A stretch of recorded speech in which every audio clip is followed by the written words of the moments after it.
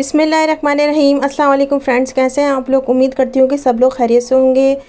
आप लोगों को रमज़ान की दोबारा से मुबारकबाद देती हूँ और मैं सैरी के हवाले से आपको बहुत अच्छी डिश बताने जा रही हूँ, जिसका नाम है चिकन कढ़ाई। आज मैं आप लोगों के लिए ज़बरदस्ती बनाने जा रही हूँ चिकन कढ़ाई।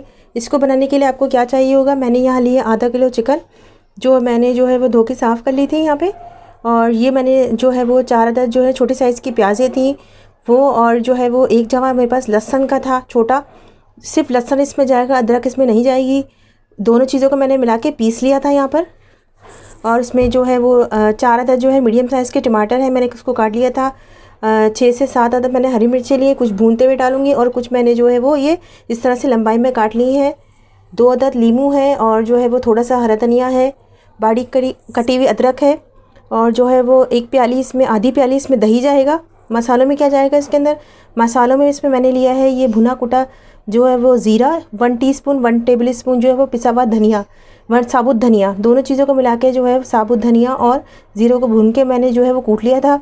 वन टीस्पून हल्दी है वन टे वन टीस्पून जो है पिसी हुई लाल मिर्चें हैं, हसबे जायका नमक है इसमें, और जो है वो पिसा हुआ गरम मसाला वन टीस्पून है, पिसी हुई काली मिर्चें वन टीस्पून है और वन टीस्पून जो है वो कुटी हुई लाल मिर्चें हैं। और इसमें जाएगा एक कप के करीब जो है वो इसमें कुकिंग ऑयल इसमें हम डालेंगे। आइए देखिए हम इस रेसिपी को कैसे बनाएँगे। पे ले लिए एक अदद पतीली, अभी मेरे पास कढ़ाई नहीं थी वरना मैं इसको कढ़ाई में बनाती। और अगर आपके पास कढ़ाई हो तो आप कढ़ाई में बना लीजिएगा। मैंने जो है वो यहाँ पे एक कप जो है मैं इसमें भर के एक कप से थोड़ा सा ज़्यादा मैं इसमें कुकिंग ऑयल डालूँगी। इस तरीके से ये हम डाल देंगे। और ये थोड़ा सा गर्म होगा। ये जो मेरे पास चिकन है, इसको मैं इसमें डाल के और इसको फ्राई करके इसमें से निकाल लूँगी।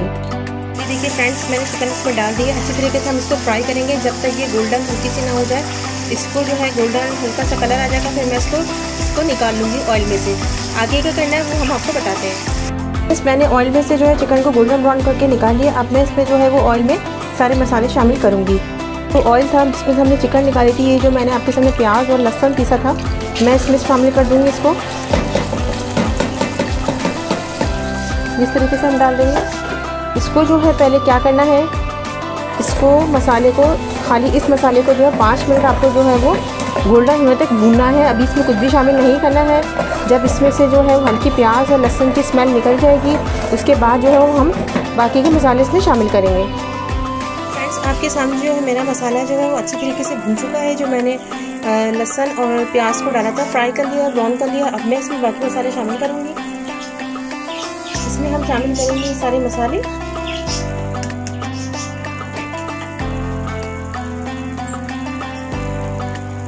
इसमें शामिल करेंगे ये सारी चीज़ें जो मैंने आपको सारे मसाले बताए थे। और इसको जो है अच्छे तरीके से भूनेंगे।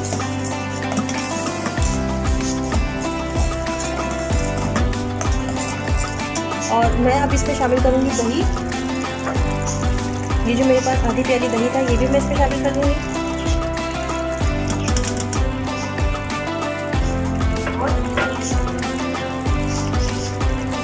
थोड़ी सी हरी मिर्ची, बारीक कटी हुई, लंबाई में कटी हुई, ये मिर्ची हमने डाल के।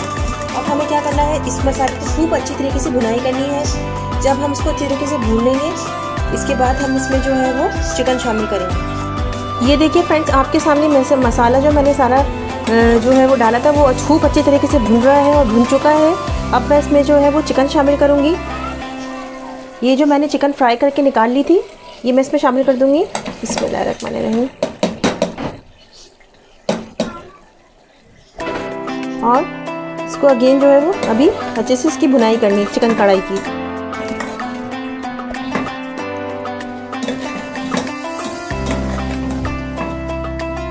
खूब अच्छे से इसको भूनना है। अब हम इस स्टेज पे इसमें शामिल करेंगे टमाटर।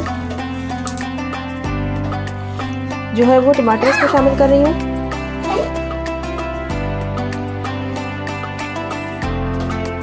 अब इसको जो है टमाटर डालने के बाद जो है खूब अच्छे से इसकी बुनाई करनी है। इसके बाद हम आगे का आपको बताएँगे क्या करना है। ये देखिए फ्रेंड्स, मैंने जो है टमाटर डाल दिए अब हमें क्या करना है, इसको हल्की आँच करके जो है वो पाँच से दस मिनट के लिए छोड़ देना है, जब तक जो है वो चिकन गलने के लिए।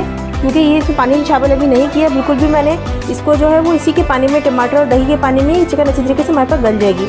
अब मैं इसको ढक देती हूँ और हम इसको 10 मिनट बाद हल्के हाथ पे चेक करेंगे, गली नहीं गली चिकन और बाकी क्या काम बताएँगे क्या करना है।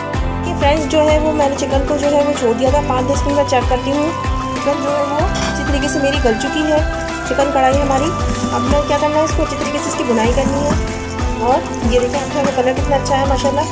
चिकन कढ़ाई का हमारी अब मैं इस स्टेज पे इसमें शामिल करूँगी, ये साबुत हरी मिर्चें। ये देखिए, ये मैं इसको शामिल कर देती हूँ। इसको अगेन जो है वो तरीके से भूनेंगे। और थोड़ा सा हम इसमें शामिल करेंगे हरा धनिया।